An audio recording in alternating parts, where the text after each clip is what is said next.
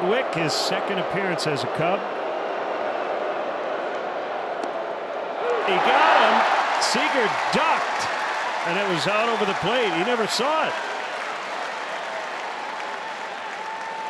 That was wild. One down here in the ninth. Yeah, that just absolutely locked him up. He thinks it's coming at his head. He doesn't see spin, and then it drops right into the strike zone.